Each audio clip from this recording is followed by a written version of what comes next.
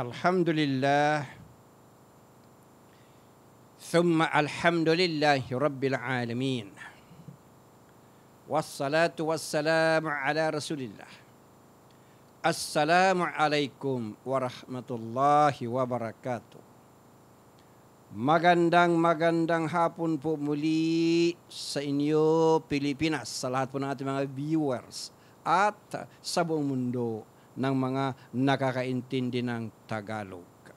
Muli po ay nandirito na naman tayo minsan pa sa ating programang Islam ang Solusyon na napapakinggan sa himpilang ito Elizalde Broadcasting tuwing araw po ng Huwebes alas 2 hanggang alas 3 po ng hapon, Manila time. Ito po muli ang inyong kapatid sa pananampalataya, Salim Gemba. Para po sa inyo mga katanungan, komento, suggestion, nandiyan po sa inyong mga screen. 0927-927-9000 o kaya po ay 0919-694-3095. Maganda po ang paksa natin ngayon.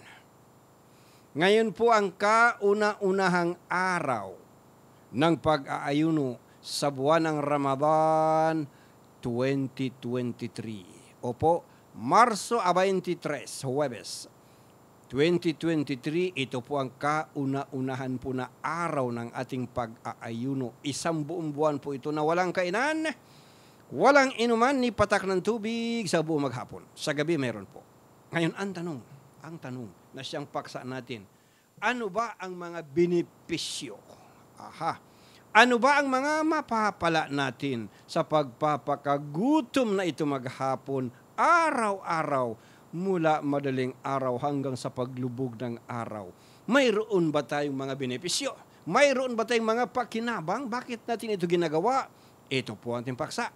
Ang pito sa mga benepisyo ng pag-aayuno sa buwan ng Ramadan. Siya pong paksa natin. Hindi natin pito itong ating bubunuin. Baka hindi natin makayanan po na isang oras.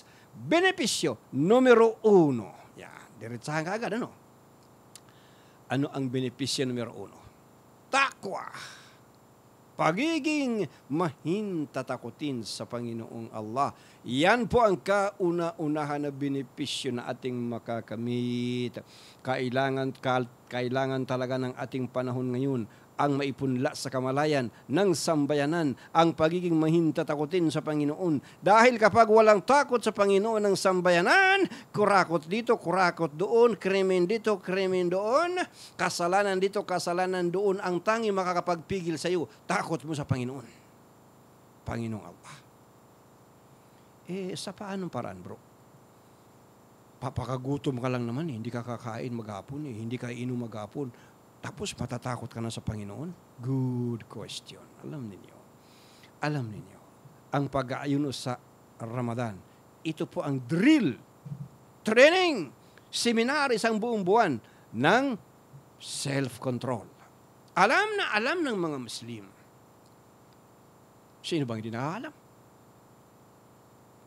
Na po pwede silang kumain. Bakit hindi?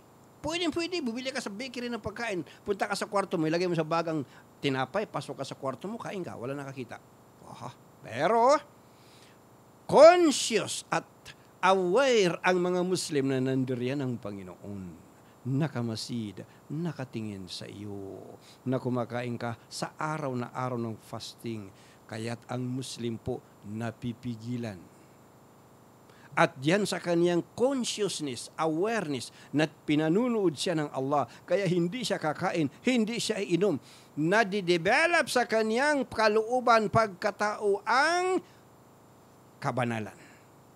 Na ang pinaka-bottom line ng kabanalan, takot sa Panginoon. Dito siya nagkakaroon ng takot sa Panginoong Allah.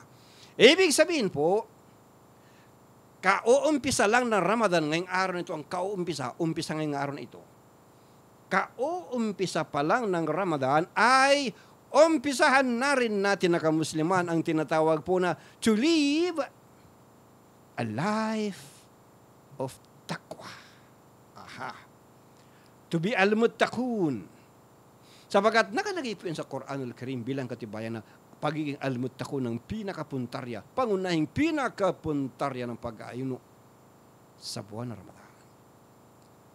Ito po yung verse sa Quran na para parati natin naririnig kapag Ramadan. Binabasa ng mga preachers, binabasa ng mga scholars, binabasa ng mga ustads. Naririnig natin ito sa mga khutbah. Bukas, ito rin ang babasahin. Bukas na biyernes, ito rin ang babasahin. Buong mundo ng kamusliman. Ito, chapter 2, verse 183. Quranul Karim, Ba'da. A'udhu billahi minas shaitanir rajim.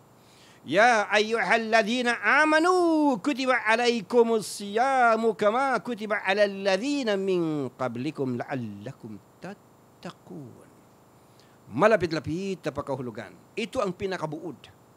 Maituro sa sambayanan ang pagiging almutakun, magiging banal.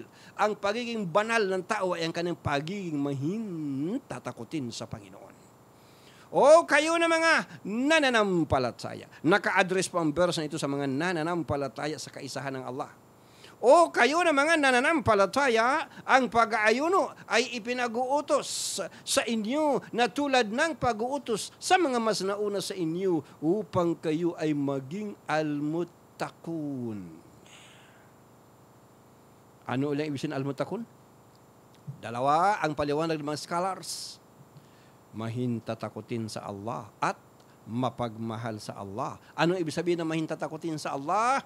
Ano mang ipinagbabawal ng Allah ay ilalayo mo sarili mo, pipigilan mo sarili mo, tatalikdan mo, hihintuan mo na. Ano naman ang pagmamahal sa Allah? Ano man ang ipinagutos ng Allah kahit ayaw mong gawin, ay gagawin mo. So ito ang dalawa. Kung naghahanap ka ng kabanalan. Ngayon, kapag po buwan ng Ramadan, ito yung natututunan pinakamalagang benepisyo na ating nakakamit. Kapag po buwan ng Ramadan, natututunan ng mga Muslim ang pagiging mahintatakutin sa Allah sa pamamagitan ng pag-iwas sa anumang mga ipinagbabawal ng Allah, pag-iwas sa mga kasalanan at natututunan nila magmahal sa Allah sa pamamagitan ng pagsunod sa anumang ipinag-uutos ng Allah at pagkatapos ng Ramadan. Dapat ituloy-tuloy natin ang natutunan natin na takot sa Allah at pagmamahal sa Allah. Ibig sabihin, ituloy-tuloy na natin ang pag-iwas sa kasalanan, pagpigil sa sarili sa gawaing kasalanan, at ituloy-tuloy na natin ang pagtulak sa sarili sa gawaing kabutihan, pag-utos sa sarili sa gawaing kabutihan, isang buong taon bago dumating ang isa na namang Ramadan, kailangan natin yan na panatilin sa ating mga sarili ang pagiging almutakun, ang pagiging mahintatakutin sa Allah at mapagmahal sa Allah dahil ito po ang pinakamatindi na ating panangga. Kung naghanap ka ng panangga. Laban kay Satanas na isinumpa. Si Satanas po, tandaan mo, wala siyang sahod. Wala siyang allowance, wala siyang day off. Wala siyang bakasyon. Wala siyang incentive. Pero ang sipag-sipag niya, 24-7, araw at gabi, wala siyang ginawa kundi hanapan ng paraan paano ka iligaw, paano wasakin ang buhay mo. Ganun siya kasipag. Wala siyang sahod, wala siyang bonus, wala siyang allowance, wala siyang ah, anong ano pa matatawag mo na mga incentives sa tao para magsipag. Siya wala. At alam niya, alam na alam niya, tutupukin siya sa apoy. Kaya siya nagpapakasipag. Gusto niya, marami siyang mahatak na sangkatauhan na kasama niyang tutupukin sa apoy. Kaya hindi siya huminto, bilang katibayan hindi siya huminto, pupwestuhan ka sa harapan mo. Sa likuran mo, sa kanan mo, sa kaliwa mo, iikot-ikutan ka, tutuksuin ka, uudyukan ka, gawin mo to, gawin mo rin, huwag mong gawin yan, huwag mong gawin yan, ito ang gawin mo, tutuksuin ka, araw at gabi, sana katibayan mo, chapter 7, verse 17, Quranul Karim.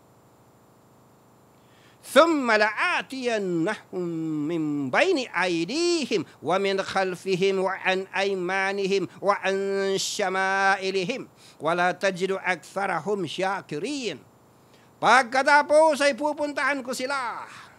Sabi ni Satanas, ah, nagsasalita siya.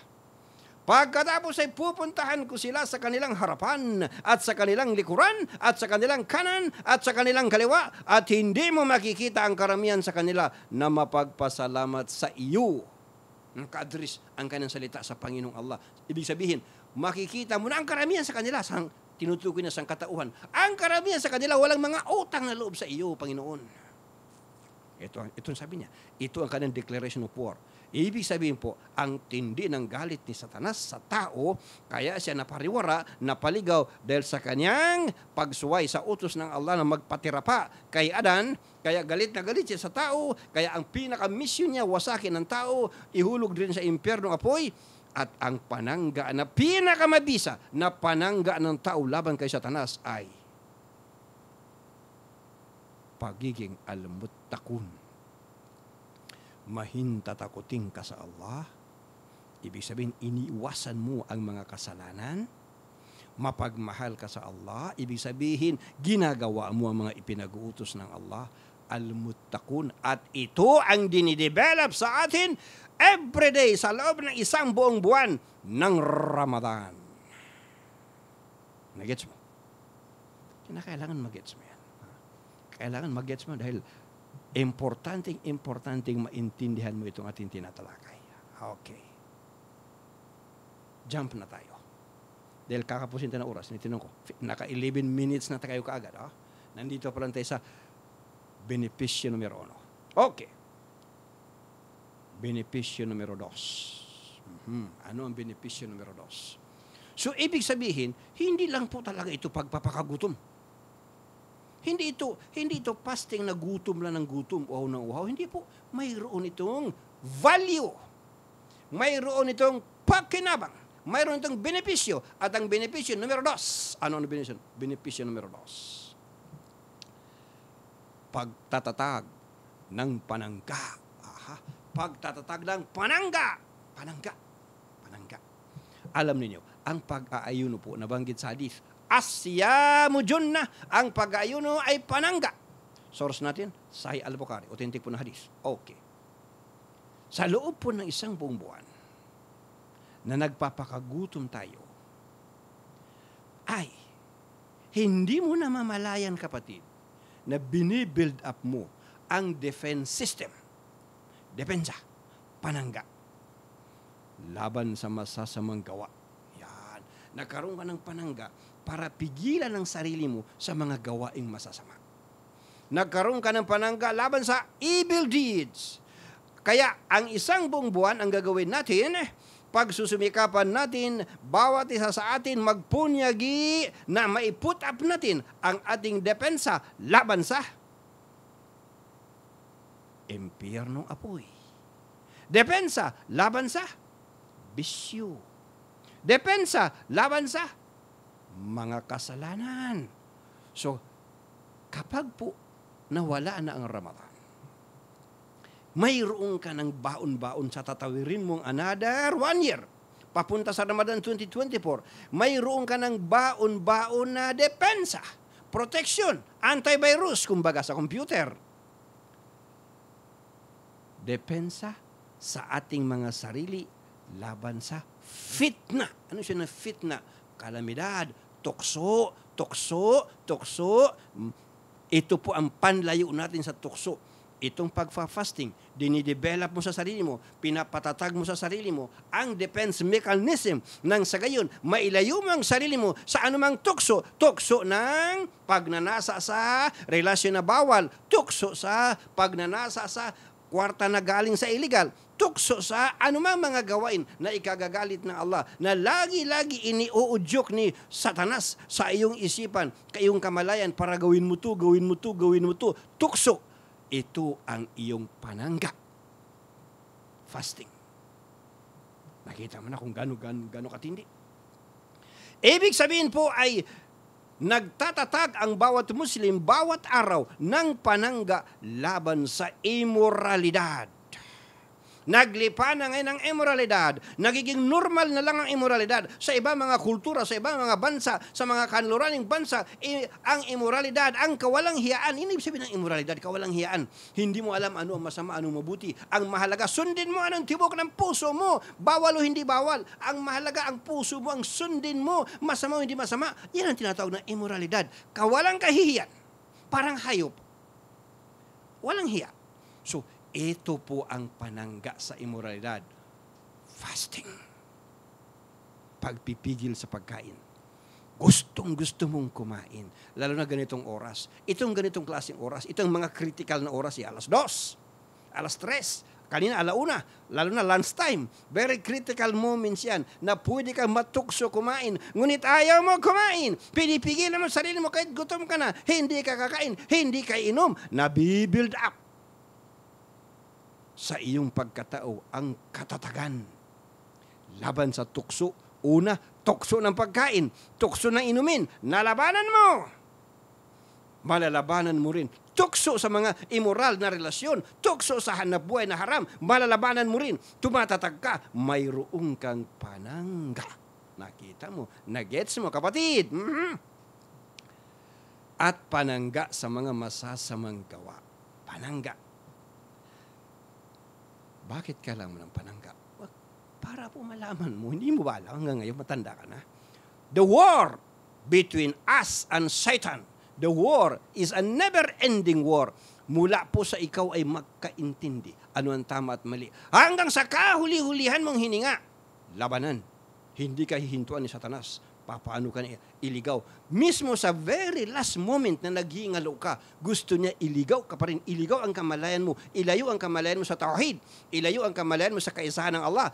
Dali ang kamalayan mo sa pagsamba sa mga Diyos-Diyusan para pag namatay ka, namatay ka na nakalabas sa Islam.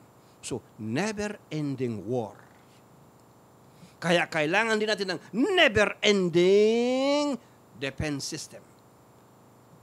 Kailangan natin Continuous. Bakit? Continuous rin po si Satanas. A'udhu billahi minas shaitanir rajim. Continuous rin po ang lahat ng harassment gagawin ni Satanas. Aabangan ka niya, aambusin ka niya, gagawa ka pa lang ng mabuti, magpaplano ka pa lang, naggagawa ka ng mabuti, aabangan ka niya, aambusin ka niya. Katibayan?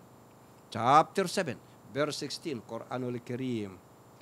Qala fabima agwaytani la'aq'udanna lahum siratakal mustaqim. Malapit-lapit na pakahulugan. Si Iblis, meaning si Satanas. Sa Arabic po, Iblis ang kanyang pangalan. Ay nagsabi, sapagkat ako ay iyong isinadlak sa pagkaligaw. Naka-address yung salita niya sa Allah. Sapagkat ako ay iyong isinadlak sa pagkaligaw Katiyakan na ako ay mauupo na nag-aabang sa kanila sa iyong matuwid na landas. Ibig din sabihin, aabangan ka kapatid. Kapag nagpaplano ka ng magagandang plano sa buhay, aabangan ka niya, uudyukan ka niya, babaguhin ang isip mo, babaguhin ang plano mo, sisirain ang maganda mong plano. Halimbawa, bigyan kita, bigyan kita na isang example. Halimbawa, na-realize mo na wala talagang way to salvation of our soul. Wala talagang kaligtasan kung hindi ang matuntun mo ang landas ng mga propeta. Landas na dinaanan mula kay Adan, kay Noah, lahat sila, Abraham, Moses, hanggang kay Jesus, Muhammad, sumakan na nawa ang kapayapaan. Na ang kanilang landas ay to worship the one and only one God, the Almighty Allah. Sa Hebrew, Illo. Sa Aramaic, Illi. Sa Arabic, Allah. Isa yan. Diyos ng mga propeta. At na-realize mo ngayon na wala talagang ibang kaligtasan kundi ang Islam. Ito ang relihiyon ng lahat ng propeta. Gusto ko mag-Muslim, gusto ko magbalik Islam. Okay. Nagbihis ka, naganda ka, pupunta kang muski. Saan mang muski, kung saan ka nakatira. Aabangan ka ni Satan, ambus. Paano? Eh, di mo naman siya nakikita, bro. Paano ka ambusin? Aambusin ang utak mo. Dito ka bibirahin sa consciousness. Ito ang pinakamatindi na sandata ni Satanas. Paano ma-influensya ng utak mo? Sasabihin niya sa'yo, padadaanin sa ugat, sa dugo, yung papunta sa brain, sa consciousness. Sasabihin niya sa'yo, Pogi, Mama, Kuya, nababaliw ka na ba? Ano ka mo, magmumuslim ka? Hindi ba nakikita yung mga terorista? Yan. Papasok ka sa relihiyon ng mga terorista. Ha? Para ka na, para ka na tauhan, nga, no? Mga terorista.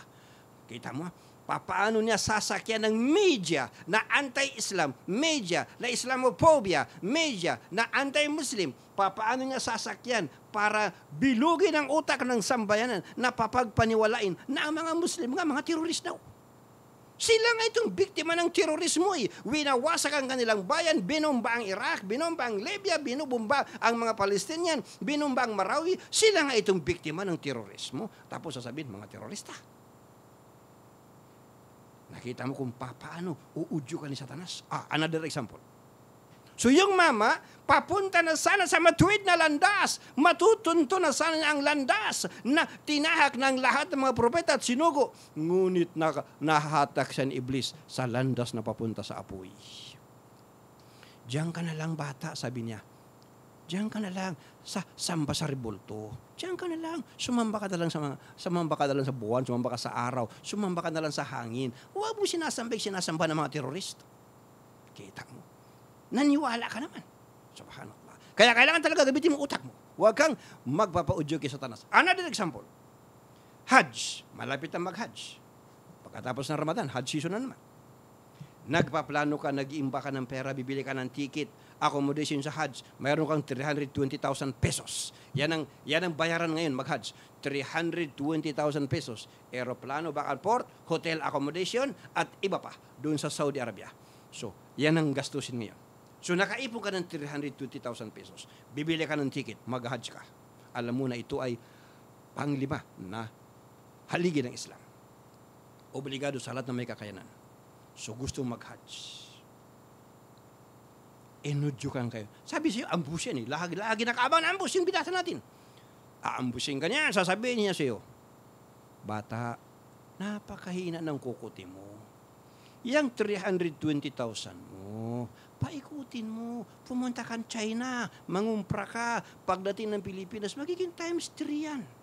China ka uli, magiging times 3 uli. Mag-China, mga limang beses ka mag-China, tsaka ka na mag-Hajj. Di ba, bata? Gamitin mo utak mo. I-o-joke na ito sa isip mo. Ipapaisip na sa'yo. Sasabihin mo, nga, no? Saka na ako mag-Hajj. Paikot-ikutin ko man ito ilang beses para pag malaking malaki na, oh, di sobra-sobra pang pera ko. Hey, hindi alam ng mama, mababang karote pala. At kailanman hindi na makakaipon ng 320,000. Nawala ang kanyang pag-asa. Ito po ang ating gagawin sa pag-aayuno sa buwan ng Ramadan, maitatag natin ang panangga nang sa gayon eh, hindi ka maudyukan, hindi ka maambos ni Satanas na isinumpa. Maliwanag? Okay. Benepisyo numero 3. Aha, 22 minutes. Ang bilis ha, inahabol ko yung oras. Benepisyo numero 3. Ang mailayo mo ang sarili mo sa impyernong apoy. O, sa paano paraan bro? Ang pag-ayuno. Ang pag-ayuno, isang buong buwan po ng sakripisyo isang buong buwan na pagpapakagutom sa maghapon, pagpapakauhaw sa maghapon, para mailayo mo ang sarili mo sa impyernong apoy. Alam mo ba? Alam mo ba kapatid, isang araw lang, isang araw lang na pag-aayuno para sa Allah, isang araw ng pag-aayuno, ilalayo ng Allah ang mukha mo sa impyernong apoy ng pitumpong taon, 7-0, pitumpong taon, 70 years. Gaano ba kalayo yung 70 years? Okay, estimate natin pakawalan mo yung pinakamabilis lumipad na ibon. O kaya pinakamabilis na aircraft. Pakawalan mo sa outer space ng 70 years. Kung gaano ka malayo yung mararating niya, 70 years na non-stop travel, ganyan ka ilalayo ng Allah sa impyernong apoy. One day, isang araw lang na fasting. Iilang araw ang fasting natin kapag Ramadan? Either 29 or 30 days, depending upon the sighting of the moon. So 29 or 30 days, ipagpalagay natin 30 days. So bawat araw noon, ilalayo ka ng Allah ng 70 years sa impernong apoy, then times 30. Then times how many Ramadan ka na? Naka 20 Ramadan ka na sa buhay, naka 50, naka 70. Ang layo, layo, layo mo na ngayon sa impernong apoy. Allahu Akbar. Kung kung pumasa ang iyong pag-aayuno, bro, kailangan pumasa. katibayan po na ilalayo ka ng Allah sa impyerno apoy. Isang araw ng pag-ayuno, ilalayo ka ng Allah ng 70 taon sa impyerno apoy. Basa, sabi ng hadith ni Muhammad sallallahu alaihi wasallam, authentic po na hadith, Sahih al-Bukhari. Walang alipin na nag-aayuno isang araw sa landas ng Allah, kundi ilalayo ng Allah sa kanyang mukha ang impyernong apoy ng pitumpung taon. Authentic na hadith, Sahih al-Bukhari. Aha, ganun ba yun bro? Yap, ganun po yun. So iyan ang binipisyo numero tres. Kapag po siniryoso mo ang pag-aayon mo sa buwan ng Ramadan, dapat lang seryosohin mo. Hindi po pwede. Na lalaro-laruin mo, hindi mo alam, baka this is your last Ramadan. Mayroon pong, mayroong, mayroong mga tao po na hindi talaga umabot sa Ramadan. Mayroon ilang oras na lang Ramadan na hindi umabot. Tulad kahapon. Kahapon na, kahapon. Diyan sa Blue Mosque. Mayroong isang manggagawa diyan. Sa Blue Mosque. Hindi siya umabot ng Maghrib. Ang oras kasi na pumasok ang Ramadan, ang oras kasi ng pagbabago ng petsa sa Islam, paglubog ng araw, Maghrib time. Pag lumubog na yung araw, ibang petsa na yan. So, kahapon po, paglubog na paglubog ng araw, ibang petsa na, ibang buwan na, pumasok na po ang Ramadan. So, ang pagpasok ng Ramadan, paglubog ng araw. So, kapag ang isang tao namatay na ina, sa loob ng Ramadan, ito ay isang mga palatandaan po ng maganda na kamatayan. So, ito po yung kapatid natin. Siya po ay namatay bago lumubog ang araw. Ibig sabihin hapon, mga ganitong oras siguro, namatay siya. Hindi siya umabot sa Ramadan. Allahu Akbar. Subhanallah. So, napakaswerte natin. Tayo ngayon, buhay pa tayo. Umabot tayo ng Ramadan. Ang tanong, darating ka ba sa Ramadan 2024? Kaya seryosohin mo na kung may mga hindi dumating sa Ramadan 2023 nakasama natin sa Ramadan 2022, marami po sa atin ang hindi makakarating sa Ramadan 2024. Therefore, galingan na natin, galingan na natin po ang ating pagsasakripisyo araw-araw na makamit nawa natin ang gantimpala ng Allah na kanang pangako sa kanang hadith ni Muhammad sallallahu alaihi wasallam na ilalayo tayo ng Allah sa impyernong apoy 70 years bawat araw ng pag-aayuno sa buwan ng Ramadan. Mm-hmm. 27. Aha, lalaktawan natin kasi ang bilis eh. Kaya kailangan ma- matapos natin ito lahat itong ating tinatalakay. Alam niyo, kapag po marami tayong na-impact na kabutihan sa pag-aayuno sa Ramadan, isang gawain lang po, pwedeng bumura sa lahat ng pinaghirapan mo. Hindi lang pinaghirapan mo nitong Ramadan, lahat ng nagdaang pinaghirapan mo, pwedeng mabura. Kaya nga ba, kailangan pumasa ang ating pag-ayuno sa buwan Ramadan. Isa lang, isa lang nagawain po na sumablay ka. Hindi lang itong Ramadan mo ma-disqualified lahat ng ginawa mong kabutihan sa buong buhay mo, disqualified. Ano yun? Kaya nga ba ito, makinig kayo mabuti.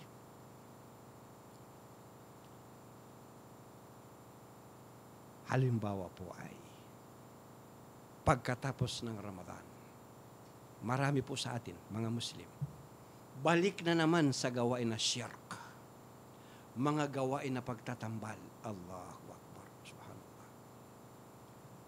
Marami mga Muslim na gumagawa ng shirk. Natalakay na natin ito ilang beses. Napakarami. Pag bumalik ka, lalo ko shirkul akbar. Ano mang, ano mang pinaghirapan mo? Wala ring saysay. So kinakailangan po para po maging intact ang ating mga pinaghirapan nitong buwan ng Ramadan, iwasan na natin ang makagawa ng anumang elemento ng pagtatambal sa Allah, anumang elemento ng shirk. Benepisyo. Numero 4. Aha, 29 minutes na tayo. Pag-iimbak ng maraming maraming gantipala. Ito po yung pagkakataon natin para mag-imbak ng multi-reward. Isang buong buwan po, alam ninyo, ganito po kaiba ang reliyong Islam. Eh. hindi po talaga ito pagpapakagutom lang. Pagpapakauhaw. Mayroon talaga itong kahulugan. Mayroon itong something, value, something na napakamahalaga. Ito nga, number four, na benepisyo. Pag-iimbak ng multi-reward. Multi-reward. Opo. Ano ba sinasabi multi-reward, bro? Marami po sa atin itong Ramadan ang matagumpay na makakatawid. Matagumpay ang kanilang pag-aayuno sa buwan ng Ramadan na iwasan nila yung mga kasalanan at nagawa nila yung mga kabutihan. Sila ay nagtiis, nagtimpi. Success! Pagkatapos ng Ramadan. Mayroon namang iba na survivor lang. Aha, 50-50 naka naka naka-survive lang 50-50 may mga ginawa na kasalanan mayroon din ginawa na kabutihan pero naka-survive mayroon namang iba na failure talaga bagsak bagsak talaga hindi nila ginalingan ang pagtitimpi sa mga gawain kapag po Ramadan hindi nila gina, ginalingan ang mga sapagkat ang pag-ayon sa buwan ng Ramadan pagtitimpi hindi nila ginalingan ang pagtitimpi may maram may mga failures Ngunit mayroong mga matagumpay talaga na umani o nag-imbak ng maraming maraming gantimpala sapagkat ang pag-aayuno po talaga ay pag-imbak ng gantimpala. Katibayan. Hadith ni Muhammad sallallahu alaihi wasallam. Hadith Qudsi. Yatruku ta'amahu wa syarabahu wa syahwatahu min ajli as-siyamu li wa ana ajzi bihi wal hasanatu bi ashri amthaliha malapit-lapit na pagkahulugan, tinalikdan niya ang kanyang pagkain. Aha, ibig sabihin, yung pagkain mo, tinalikdan mo. Hindi ka kumain maghapon. Tinalikdan niya ang kanyang pagkain, inumin at mga pagnanasa. Pati pagnanasa mo, tinalikdan mo. Gusto mo makipagtalik sa asawa mo, pero tinalikdan mo, ayaw mo makipagtalik sa araw. Pwede kayo magtalik sa gabi mag-asawa. Pero sa araw, tandaan ninyo, kapag po nagtalik kayo sa araw ng mag-asawa, na araw ng Ramadan, ang parusa, dalawang buwan, tuloy-tuloy na fasting. 60 days. Yan po ang parusa. Kaya huwag na huwag kayong magkamali mga bagong kasal. May mga bagong kasal sa Ramadan. Huwag kayong magkamali na magsiping sa araw. Yan po ang parusa. Two months consecutive fasting. Every day. 60 days. Kapag nag nagtalik kayo sa araw. Sa gabi, pwede kayo magtalik. Okay, ulitin natin. Tinalikdan niya ang kanyang pagkain, inumin at mga pagdanasa ng alang-alang sa akin. Sabi ng Allah. Hadith Qudsi. Sabi niya, nagpakagutom siya, nagpakauhaw, pinigil ang kanyang pagnanasa para sa akin. Ang pag-ayuno natin para sa Allah. Dagdag pa. Ang pag-ayuno ay para sa akin, kaya't gagantimpalaan ko ang nag-ayunong tao para rito at ang gantimpala ng mga mabubuting gawa ay pararamihin ng makasampung basis. Sahih al-Bukhari at saka Hadith Abu Daud. Times 10! Ano mang nagawa mong kabutihan, times 10. Mayroon pang times 70. Mayroon pang times 700. Mayroon pang hindi na kayang kwentahin pa ng mga malaika, ng mga anghel. Depende What is your intention nung gawin mo? Ito ba'y ginawa mo talaga para sa Allah? So, ito po ang pagkakataon natin, dumating na naman ang Ramadan, unang araw ng Ramadan, galingan natin, pagkakataon ito na para paramihin, mag-imbak na mag-imbak na mag-imbak ng mga gawain kabutihan. Napakarami mong pwedeng gawin. Magbasa ka ng Quran. That is already pag-iimbak ng kabutihan. Magbasa ka ng hadith. Pag-iimbak ng kabutihan. Mag-zikr ka Gunitain mo ang Allah. Ano pa? Mag, mag, magsala ka ng mga, mga voluntary prayers. Magtahajud ka. Magtasbih ka. Napakarami mo magagawa. Magbigay ka ng sadaka. Magbigay ka ng charity. Napakarami mo magagawa po na pag-iimbak. Therefore, ito pong Islam ang pinakapuntarya talaga ng Islam. How to make a man, how to make a woman a good citizen. Mag-iimbak ng kabutihan. Mag-iimbak ng mga gawaing kabutihan. Allahu Therefore, tayo po ay magkarirahan. Tayo po ay magkompetensya. Magkarirahan tayo sa paggawa ng kabutihan. Kabutihan na gagawin natin only for the Almighty Allah. Ramadan or hindi Ramadan, ituloy-tuloy natin ang kompetisyon, karirahan sa pag-iimbak ng kabutihan. Ituloy-tuloy natin ang ating pag-iimbak ng kabutihan ng alang-alang sa Allah sapagkat ito pong ikhlas. Ikhlas, ibig sabihin ikhlas. gagawa ka ng gawain ng alang-alang sa Panginoong Allah. Ang dahilan kung bakit mo ginawa, hindi pakitan tao, hindi para sumikat, kundi ang tanging dahilan para lamang sa Allah. Ang tawag ito, ikhlas.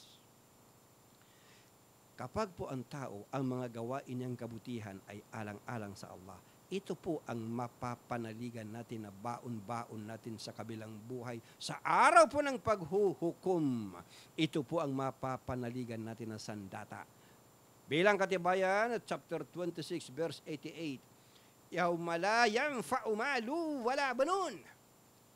Ang araw na walang yaman o mga anak ang makakatulong. Hindi ka matutulungan ng mga anak mo lalaki. Hindi ka matutulungan ng kayamanan mo. Sa araw na yan, ang tinutukoy niya, araw ng paghukom. Walang makakatulong sa iyo. Ha? Yan ang kailangan natin, puso na malinis sa pakitan tao. Malinis sa makasarili. Malinis sa pagtatambal. Ang kailangan natin makakapagtanggol sa atin sa araw ng paghuhukom. Ngunit mga kapatid, sa panampalataya, sinabi natin kanina, pwedeng manganib ang mga naimbak natin ng maraming maraming multi-reward. Pwedeng manganib yan. Pwedeng manganib ng isa lang na gawain. Kanina, sabi nabi natin, shirk. Ngayon naman, another na naman na isang gawain na pwedeng manganib ang mga naimbak mo. Hindi lang naimbak mo nitong Ramadan, kung hindi naimbak mo sa buong buhay mo, naimbak mo na kabutihan. Ano man mga gawain kabutihan, ano man mga gawain ibada, ano man gawain worship, ano man mga gawain pagsamba na naimbak mo, isang pagkakamali mo lang, isa lang, one time lang, one time. Pulbos burado lahat. Ano po yun? Salatul Asr. The middle prayer. Tingnan mo ha? Salatul Fajr. Salatul Duhur. Ito yung middle prayer. Salatul Asr. Salatul Maghrib. Salatul Isha.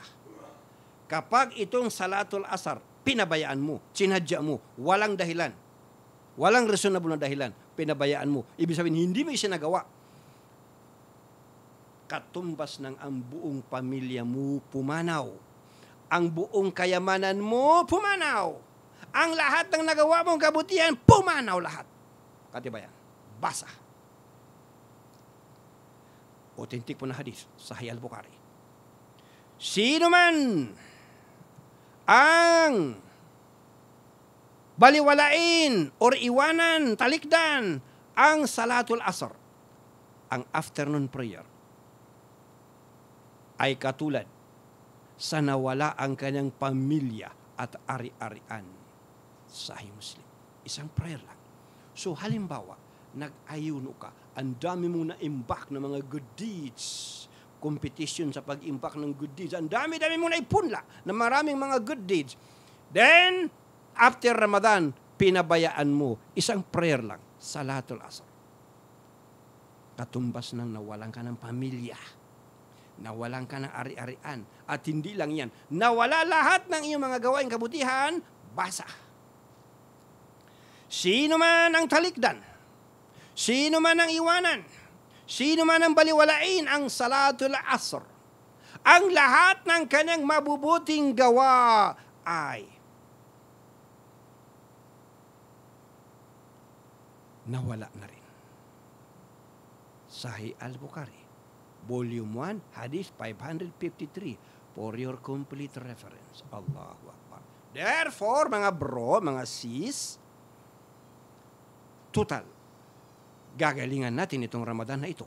Kaumpisa pa lang natin, first day. Galingan din natin na huwag tayong makagawa ng anumang gawain na magpapa-invalidate, magpapa-disqualify sa lahat ng ating mga mabubuting gawain na sana pumasaman lang para pagdating sa araw ng paghukom, mayroon kang pang balance. Sa araw ng paghukom Paano kung nabura lahat ng mabubuti mong gawa, ang natira, puro gawaing kasalanan, di ang bigat-bigat nito, wala ka malang pambalance. Patay ka sa impyerno apoy.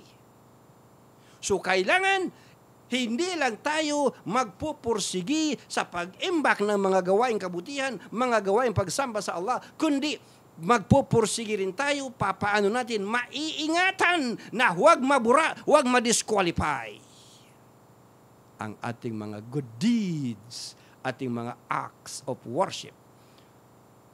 Benepisyo numero 5. 41 minutes. Tauba, repentance. Ito pong pag-aayuno sa buwan ng Ramadan, buwan po ito ng repentance. Napakarami, rami, raming naipon natin ng kasalanan isang buong taon. Sino sa atin hindi nagkakasala? Ber, ano ka santo? Ano, ano ka propeta? Ano ka anghel? Yan, ang mga anghel hindi nagkakasala. Wala silang free will to disobey. Kaya wala silang kasalanan. Hindi katulad natin na tao at ng mga jinn, mayroon tayong free will to obey and disobey. Kaya tayo nagiging special eh. Mayroon tayong, mayroon tayong free will, sumunod o hindi sumunod. Kapag nagamit mo ang free will to obey and obey and obey, puro obedience, ang kaling mo. Ang mga anghel, wala silang free will to obey or disobey. Ang nakaprograma lang sa kanila, absolute obedience. So hindi sila marunong kumontra. Puro sila obedience, obedience, obedience. Okay, tayo ng mga tao, mayroon tayong freedom, mayroon tayong free will to obey or disobey. At ang mas marami sa atin, disobey. Mga mata natin, pinanonood natin ang mga ipinagbabawal ng Allah. Disobey. Tainga natin, pinakikinggan natin mga ipinagbabawal ng Allah. Disobey. Bibig natin, wala tayong ginawa kundi magmaritis. Disobey. Kamay natin, inihahawak natin sa mga ipinagbabawal ng Allah. Disobey na naman. Paa natin, ginagamit natin papunta sa mga gawain na haram. Disobey na naman. Puro disobedience, puro kasalanan. Heto, dumating ang Ramadan para bigyan ka ng pagkakataon na maglinis ng kasalanan. Napaka, napaka mahabagin sa atin ng Allah. Alam na niya na puro tayo ng, punong-puno tayo ng kasalanan. So, bibigyan tayo ng chance. Okay, ito one month para maglinis ka ng kasalanan mo. Para pagkatapos ng Ramadan, para kang bagong silang. Ang linis-linis ng talaan mo. Okay? So ito po ang pagsusumikapan natin. Ito ang benepisyo numero 5. Tauba, repentance, paglilinis ng kasalanan. Kinakailangan pagsumikapan natin na sundin ang mga ipinagutos ng Allah, pagsumikapan natin na iwasan ang mga ipinagbabawal ng Allah para tayo maging deserving ng kanyang forgiveness. At kapag ikaw ay nag-aayuno sa buwan ng Ramadan, dahil nananampalataya ka. And at the same time, inaasam-asam mo ang gantimpala ng Allah. Borado ang mga kasalanan mo. Basa, wa qala Rasulullah sallallahu alaihi wasallam, Man sama Ramadana imanan wa ihtisaban gufira lahu ma taqaddama min dhanbi. Sino man na nag-ayuno sa buwan ng Ramadan, sanhi ng iman at pagangad ng gantimpala ay patatawarin ang kanyang mga nagdaan na kasalanan. Ito, isa pang hadis. Sino man ang nag-ayuno sa buwan ng Ramadan, sinusunod ang lahat ng mga ipinagutos dito at maingat sa kanyang sarili sa mga ipinagbabawal na bagay tunay, nalinisan niya ang kung anumang kasalanan na kanyang nagawa bago pa man ito. Source natin, Hadith Ahmad at saka Hadith Al-Bayhaqi. Okay, therefore, mga bro, we must do sacrifices. Magpapakagutom tayo. Magpapakauhaw tayo. Puputulin natin ang ating mga pagnanasa Puputulin natin pati tulog natin. Isa lang ang dahilan. Bakit natin ito gagawin? Isa lang ang dahilan. To earn the forgiveness of the Almighty Allah of all our sins. Tauba, repentance, ito pang susi. Susi sa tagumpay.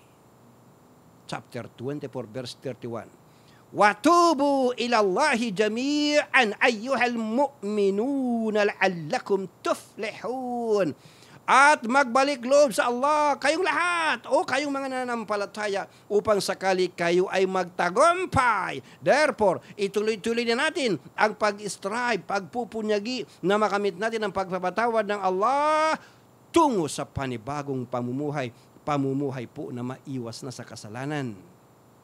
At wag na wag mong iisipin kapatid na kapag tapos na ang Ramadan, tapos na rin ang tauba. Aha, baka isipin mo, pag tapos ng Ramadan, tapos na rin ang repentance. Ano ka? Sinusyorti.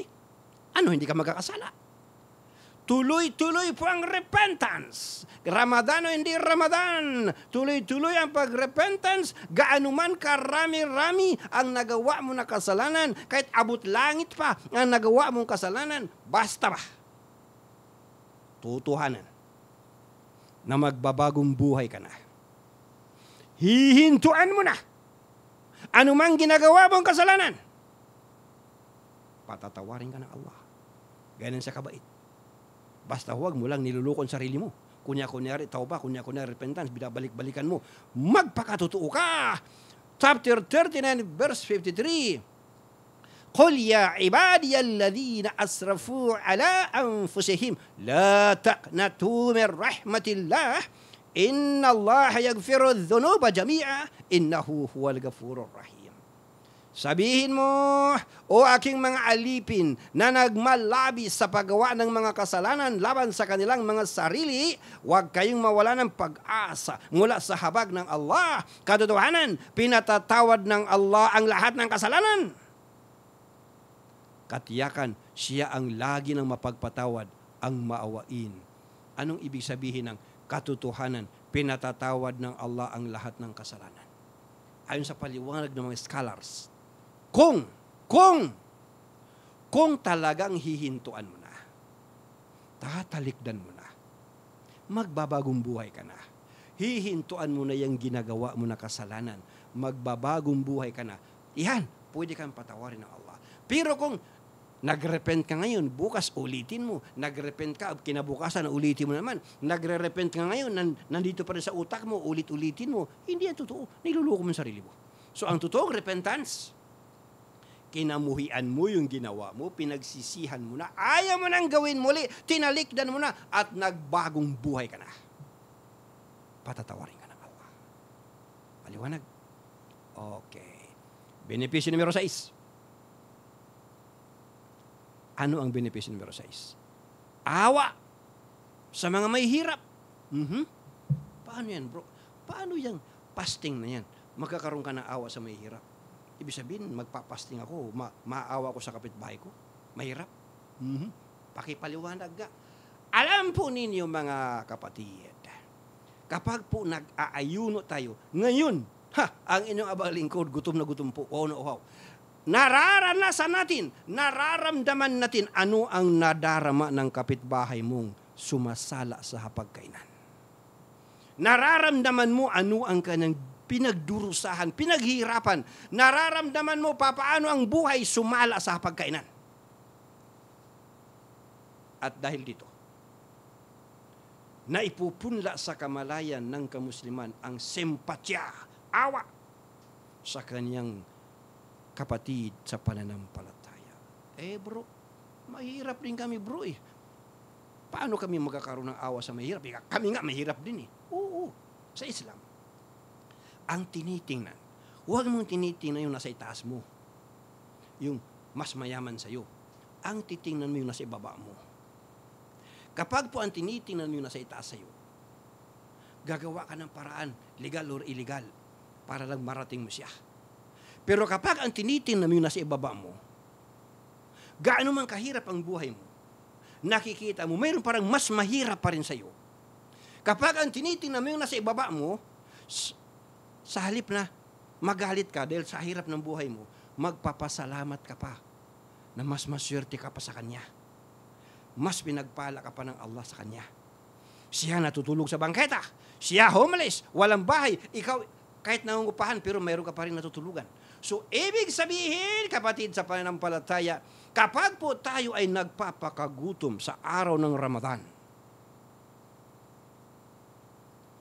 nararanasan natin ano ang nadarama ng mga, kapakat, mga kapatid natin ng mga hikahos at dito tayo nagkakaroon ng sa halip na kadamutan ng puso, kahit wala tayo, nakakapagbigay tayo.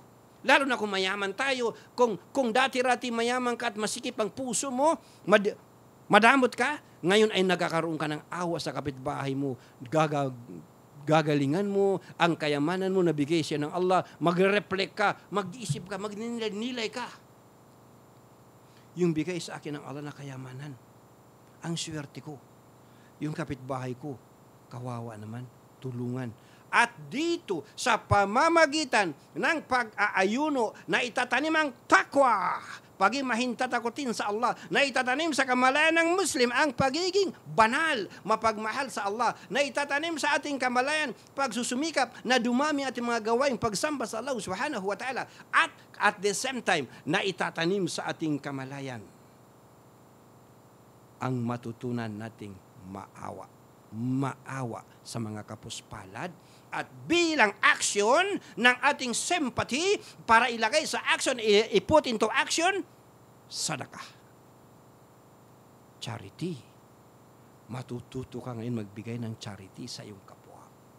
Sadakah. Sadakah. Sadakah. Dati-dati ang damot-damot mo. O, inaamag na yung pera mo sa bangko. Ngayon, iwe-withdraw mo para ipamigay mo na sadakah. Charity. Charity. Charity. At ano ano ano ang kapalit? Mawawalan ka ng kalungkutan. Mawawalan ka ng kinatatakutan sa kabilang buhay. Basa, chapter 2, verse 274. الذين ينفقون أموالهم بالليل والنهار سرا وعلانية فلهم أجرهم عند ربهم wala khawfun alaihim wala hum yahzanun. Yaong mga gumugugol ng kanilang mga yaman sa gabi at sa araw para sa landas ng Allah. Maging ito man ay kubli o hayagan, kanilang matatamo ang gantimpalang nagmumula sa kanilang Panginoon. Sila ay walang mararanasang pangamba at sila ay walang madaramang kalungkutan. Through your charity, mawawalan ka ng katatakutan at mawawalan ka ng kapighatian, mawawalan ka ng kalungkutan. Ibig sabihin po, paraiso ang iyong kalalagyan. Dahil yan lang ang lugar sa buong universe na wala kang katatakutan, walang nakakatakot, at walang kalungkutan. Puro kaligayahan. Allahu Akbar. Ang swerte-swerte mo. At sa pamagpamagitan po ng pagbibigay mo ng sadaka, tandaan mo ito. Ito ang pinaka numero unong tandaan mo sa pagbibigay mo ng charity. Hindi po yung mama, hindi yung ali ang tinutulungan mo. Okay, nakabili siya ng pagkain, nakaraos siya, nakatawid siya, pam, nakatawid siya ng hapagkainan. Natulungan mo siya. Pero ang pinakahigit po na tinulungan mo ay ang sarili mo ang sadaka pampahaba ng buhay, ang sadaka gamot sa mga karamdaman, ang sadaka gagantimpalaan ng Allah, ang sadaka pambura ng kasalanan, ang sadaka, ang dami-dami po. Ang dami-daming benepisyo para sa iyo. Kaya ang pagbibigay ng charity, para po yan sa iyo mismo. Benepisyo numero 7, last. 54 minuto na tayo. Last. Benepisyo numero 7 bakit pa natin ginagawa ang mga ito? Ah, itong, itong lahat ng mga ito. Pagpapakagutom, pagpapakauhaw. Ano bang pinaka-ultimate na objective natin? Paradise. Paraiso. Buhay natin sa mundo na ito, saglit lang, di ba?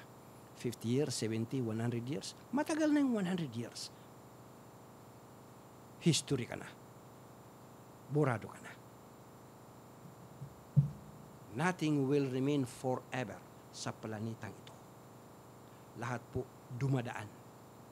Nandito ka ngayon, wala ka na bukas.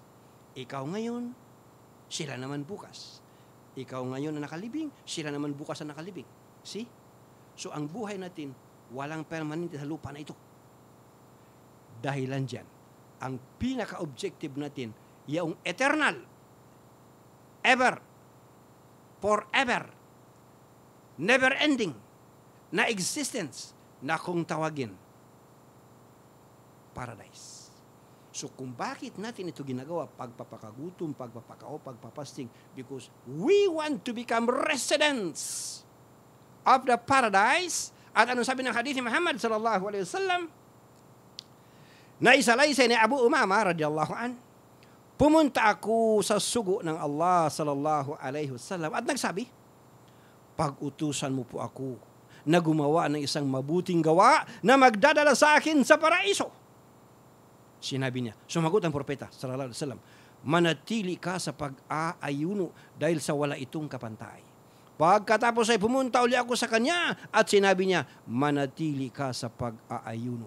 Source natin, Hadith Ahmad, Hadith An-Nasai at saka Hadith Al-Hakim. Therefore, bilang pangwakas po ng ating 56 minutes, bilang pangwakas po ng ating lecture ngayon, nagsimula na po ang Ramadan. First day ngayon. Ay simulan na rin natin ang ating pagsusumikap sa pamumuhay na almutakun. Yan ang number one, benepisyo. Nagsimula na ang Ramadan, ay simulan na rin natin ang pagtatatag ng mga panangga laban sa mga gawaing makasalanan. Benepisyo numero dos Nagsimula na po ang Ramadan, mga kapatid. Itong araw na ito, Marso 23, 2023, ay umpisahan na rin natin ang ating mga pagsusumikap na ilayo ang ating mga sarili sa impyernong apoy. Benepisyo numero 3. Nagsimula ng Ramadan at umpisahan na rin natin ang ating karirahan sa pag-iimbak ng multi-reward. Benepisyo numero 4. Nagsimula ng Ramadan Pakaiwasan na natin ang makagawa ng mga kasalanan, dapat tuloy-tuloy pa rin ang masumamong tauba, tauba, tauba, repentance.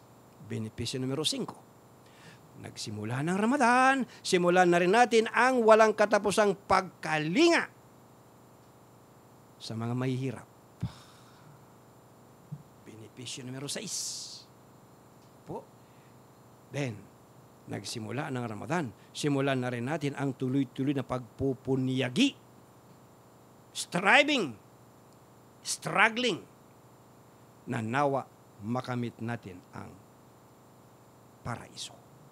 Benepisyo numero 7. Dumating na naman po ang buwan na pinakahihintay natin ng mga Muslim, buwan ng Ramadan. Isa na namang pagkakataon para po ang Muslim magbago na. Siseryosohin mo ba itong Ramadan?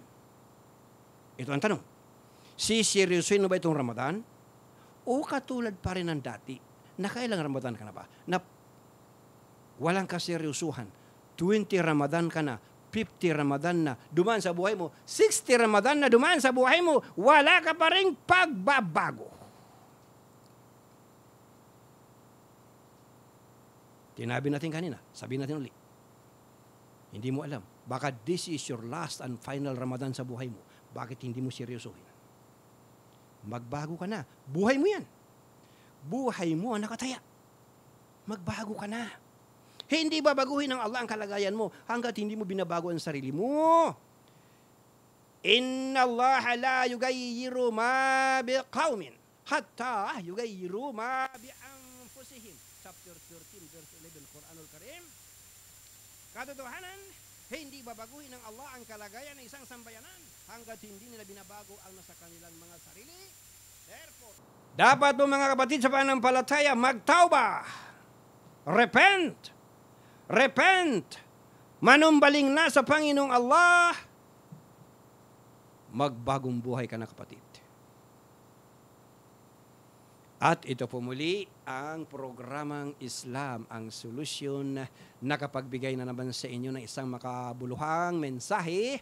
Ito po muli ang inyong kapatid sa panampalataya, Salim Gemba. Subhanakallahumma wa bihamdik. Ashhadu an la ilaha illa anta astaghfiruka wa atubu ilaik. At muli po, pagbati ng kapayapaan sa ating mga kapatid sa pananampalataya. Assalamu alaikum warahmatullahi wabarakatuh.